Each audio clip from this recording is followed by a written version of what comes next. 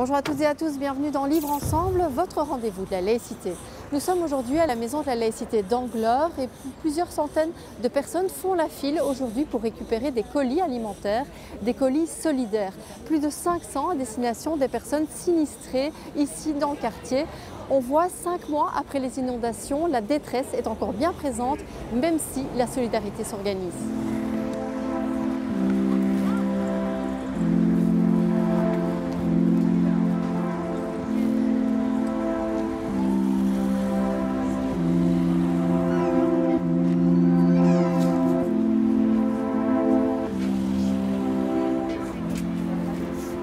Oui, on a été touché surtout dans les caves, c'est où il y avait le plus de, ch- de choses, les garde-robes, le dress, où il y a les jeux aussi, où il y avait les machines à laver, il y avait à peu près tout, sauf euh, nos chambres dans les- en haut. On a quand même perdu toutes nos photos, nos bijoux. Il y avait aussi des dessins qu'on avait fait quand on était petit, il y avait plein de choses. Et voilà, c'est parti, il faut essayer de tourner la page, mais c'est très difficile quand même on fait avec. Moralement, c'est bof, mais euh, à la maison, on a tout cassé, on est en train de tout refaire. Maintenant, on est loin d'être, euh, de rentrer à la maison pour l'instant. On est dans un petit appartement à 5 personnes. Et oui, c'est dur euh, à faire parce qu'on est tous les uns sur les autres et c'est plus possible. Mais bon, faut quand même faire avec, comme on a dit, et ça ne changera pas d'ici que les travaux ne seront plus là. On essaye que ça va faire vite, hein, mais bon, faut faire. Pour les petits frères aussi, ça leur fait plaisir de jouer de temps en temps et j'ai pris dans le sac quelques affaires. Ça va leur faire plaisir quand ils vont rentrer de l'école. Mais voilà, ça sert beaucoup. Heureusement qu'ils sont ici parce que sinon on n'aurait rien du tout.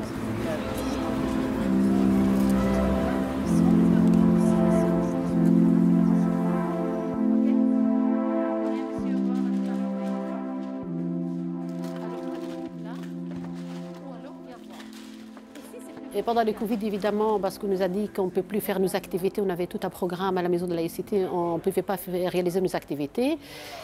Fermer le bâtiment, j'ai trouvé que ce n'était pas une bonne chose parce qu'il a fallu faire quelque chose par rapport à la situation qui est très grave, pas mal de personnes qui ont perdu leur emploi, du chômage, les femmes seules, etc. La précarité a augmenté. On a décidé de faire la soupe solidaire. C'est 530 ou 40 colis tous les 15 jours. Et nous refusons du monde parce qu'on ne saurait pas faire plus. On ne saurait pas faire plus matériellement. Nous n'avons pas la main-d'œuvre suffisante que pour faire plus. Vous êtes bien rendu compte aujourd'hui du boulot qui est déployé par les bénévoles. Et puis nous étions à peu près seuls ici. Il y a bien l'église qui était en face, mais on avait l'obligation morale de venir en aide aux sinistrés. C'était, un réflexe euh, humain. Non, je l'ai pris. Alors, euh, Arrache Nadia. Quatre personnes. Et puis ça fait naître aussi une vie de quartier. La place est redevenue une place. Une place où il y avait de la vie, une place où on venait confier ben, le désarroi, où certaines personnes venaient peut-être pleurer ou quoi, ou inversement, on venait boire un verre aussi le soir. Certains venaient manger, d'autres pas. Mais en tout cas, avec ma famille, on a déjà eu du plaisir à venir simplement boire un verre et voir comment tout le monde allait. Pendant toutes nos activités, on a toujours travaillé euh, sur le vivre ensemble, en fait. Euh, euh, on a toujours travaillé pour découvrir la culture de l'autre, ce soit dans le quartier, ce soit dans une ville, dans un village, ou, avec une association. On a toujours été là pour amener les autres vers nous et aller vers eux. J'ai rencontré des gens que je ne connaissais pas du tout, des voisins dans le quartier qui venaient nous retrouver. On se voit, on dit bonjour, ils savaient que la maison de la laïcité là, venir de loin, euh, euh, comme euh, nos amis de Limbourg, des de, de Flandre, de, de l'Allemagne, qui sont venus tous de partout de Bruxelles pour nous aider, c'est la solidarité et c'est pas la charité.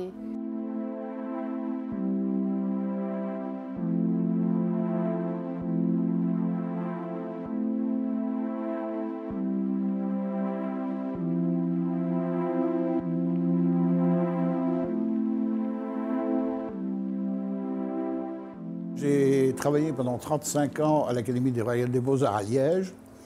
Et depuis ma retraite, bon, ben, j'ai repris un, atelier ici à la Maison de la Laïcité où certaines personnes qui veulent un petit peu se relancer dans l'art euh, viennent euh, se détendre avec moi.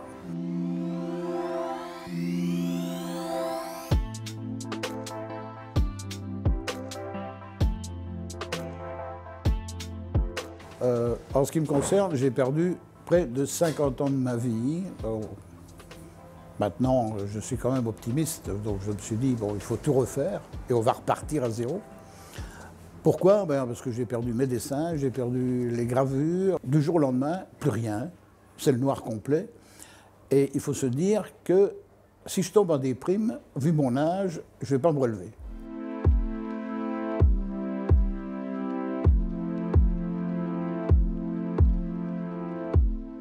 Le plus difficile, c'est de voir que tout est, tout est abîmé. Tous vos souvenirs, tout ce qu'il y a dans vos armoires, tout, tout est perdu.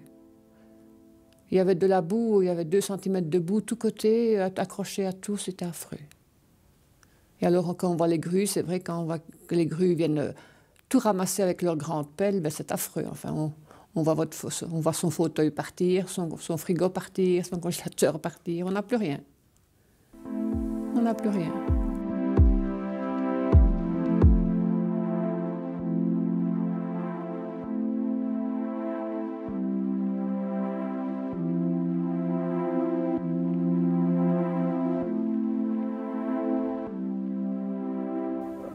Pff, dur, dur de voir euh, l'eau arriver et ne rien savoir faire, et de voir vo- tout votre outil de travail qui, qui prend l'eau, euh, vraiment euh, euh, impuissant, quoi, impuissant devant les éléments.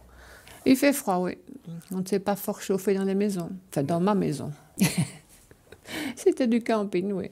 Alors, une une fois qu'on a eu enlevé tout le, tout le plafonnage, qu'on a enlevé que je n'avais plus de salle de bain, ben alors j'ai décidé d'aller chez mes enfants.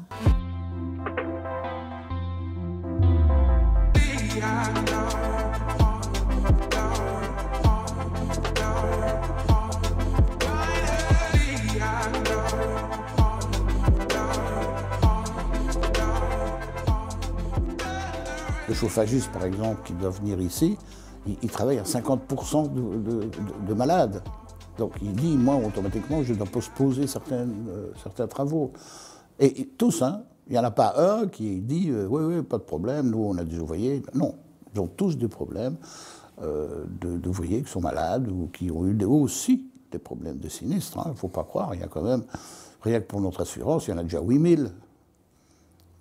Bon, plus toutes les autres. hein. Je ne sais pas en réalité combien il y a de sinistrés. hein. Je ne saurais pas dire, mais il y avait quand même plus de 200 communes. C'est énorme. C'est- une vraie, une véritable catastrophe. Je me disais que ça ne durerait pas comme ça. Mais bon, déjà pour avoir les devis, il a fallu se battre parce que c'était pas facile parce que les corps de métier étant dépassés, chaque fois je ressonnais, je ressonnais, mais on est débordé, on est débordé. Donc voilà. Et puis j'ai eu l'ex- l'expert qui est venu une fois, mais qui m'a dit lui que tous les devis n'étaient pas faits, il ne savait rien faire. Donc j'ai attendu et puis après j'ai repris contact avec l'expert. Et je redoute euh, de ne pas avoir. Moi, je lui ai déjà dit, l'expert, que je voulais pour redémarrer. Je ne veux pas qu'on me donne plus d'argent qu'il faut. J'ai des devis, voilà. Si on me redonne l'argent pour pouvoir redémarrer mon commerce, c'est tout ce que je demande. Et je redoute ce qui compte euh, de la vétusté et qu'il commence un peu à, à rogner un peu sur tout maintenant. Peut-être que non, hein, je, vais voir. On, on attend pour, voir. Ben voilà, ici c'était le magasin. Donc là, c'est complètement vide. On a tout arraché parce que tout, tout pourrissait. Donc là, il n'y a plus rien du tout. Ma pièce où, où j'ai mes frigos. Bon, tous les frigos qui, sont à, à refaire, euh, tout, tout avait basculé avec les inondations, tout était par terre, donc tout est à réparer. Puis on peut continuer alors vers l'atelier. Et là, même chose, l'atelier, ben, toutes les machines ont pris l'eau, donc euh, il y a- il y a- plus aucune ne fonctionne. Et vous gardez le sourire pourtant. Heureusement, moi je, suis de, de- je suis optimiste moi, donc j'y crois quand même. Ma femme c'est beaucoup plus dur pour elle. Moi, il faut déjà beaucoup pour que je perde le sourire et, et puis j'y crois quoi, donc j'espère. Qu'est-ce qui est difficile pour votre épouse, vous pensez? Ah, ma femme, elle m'a même dit hier, j'espère que demain on va pouvoir en faire retrouver sa dignité parce que euh, on n'a pas l'habitude d'être. Déjà, moi je, travaille depuis que j'ai 16 ans. J'ai toujours travaillé pour avoir de l'argent, enfin pour gagner ma vie. On ne m'a jamais payé à ne rien faire. Et c'est la première fois de ma vie que je touche de l'argent. là, le droit passerelle, alors que je ne travaille pas et je n'ai pas l'habitude de ça et je n'ai jamais, jamais demandé ça. Moi, ce que je veux, c'est travailler. Il y a une grande précarité. hein. Donc ça, c'est indéniable. Il y a eu les sinistrés, mais il y a aussi énormément de personnes âgées qui ont été totalement incapables de pouvoir gérer euh, leur maison ou l'appartement et qui sont mis dans, des EHPAD, euh, maisons de repos, euh, et qui sont obligés, pour ceux qui savent encore, ceux qui peuvent encore bouger, c'est d'aller justement, comme à la maison de la laïcité, à la banque alimentaire pour pouvoir obtenir un petit peu de réconfort. Voilà. Qu'on ne passe pas à côté de quelque chose malgré tout? On passe toujours à côté de quelque chose.